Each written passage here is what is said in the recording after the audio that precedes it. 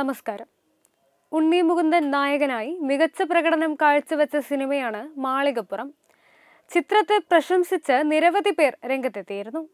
മാളികപ്പുറം കണ്ടതിന് ശേഷം സിനിമയെ പ്രശംസിച്ചുകൊണ്ടുള്ള ഒരു കുറിപ്പ് സി പി ഐ പ്രവർത്തകനും യുവകലാസാഹിതി പൊന്നാനി മണ്ഡലം സെക്രട്ടറിയും ജനയുഗം പ്രാദേശിക ലേഖകനുമായ സി പ്രഗിലേഷ് നവമാധ്യമത്തിൽ പങ്കുവച്ചിരുന്നു. ഇതാണ് വലിയ പ്രശ്നങ്ങൾക്ക് വഴിവെച്ചത്. പ്രഗിലേഷിന് ഇപ്പോൾ വലിയ വിപത്താണ് നേരിടേണ്ടി വന്നിരിക്കുന്നത്. വെള്ളിയാഴ്ചയാണ് ചിത്രം കണ്ടിറങ്ങിയ ശേഷം സി പി ഐ പ്രവർത്തകൻ ഫേസ്ബുക്കിൽ കുറിപ്പിട്ടത്. ഇതിനെ വിമർശിച്ചുകൊണ്ട് സി പി എം അനുഭാവിയും ധരണിപ്പുഴ റോഡരികിൽ ചായക്കട നടത്തുന്നയാളുമായ ഭഗവാൻ രാജൻ മറുകുറിപ്പുമായി രംഗത്ത് വന്നു. തുടർന്ന് സി പി എം അനുഭാവികളും സി പി ഐ അനുഭാവികളും പരസ്പരം നവമാധ്യമങ്ങളിലൂടെ കൊമ്പ് കോർക്കുകയായിരുന്നു ഇതിനിടയിൽ പ്രഗ്ലേഷിന്റെ ഉടമസ്ഥതയിലുള്ള എരമംഗലം സെന്ററിലെ ശോഭ ലൈറ്റ്സ് ആൻഡ് സൗണ്ട്സ് എന്ന സ്ഥാപനം ആക്രമിക്കുകയും ലൈറ്റുകൾ സൂക്ഷിച്ചിരുന്ന പെട്ടികൾ ക്ഷേത്രോത്സവങ്ങൾക്കായി തയ്യാറാക്കിയ സ്വാഗത ബോർഡുകൾ തുടങ്ങിയവ രാത്രിയിൽ തീവച്ച് നശിപ്പിക്കുകയും ചെയ്തു.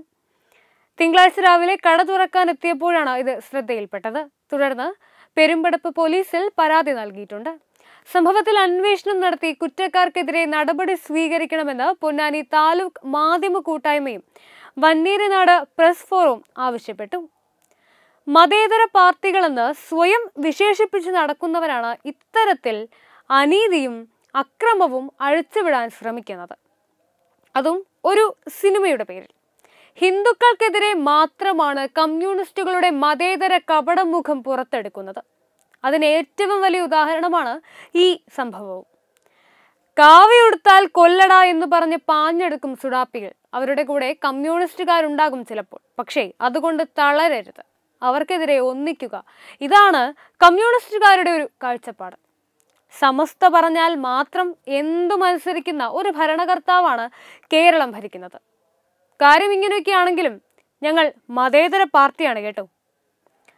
Web desk Tatwamayi news powered by Demos furniture ലോകോത്തര ഫർണിച്ചറുകളുടെ വമ്പൻ അൺലോക്ക്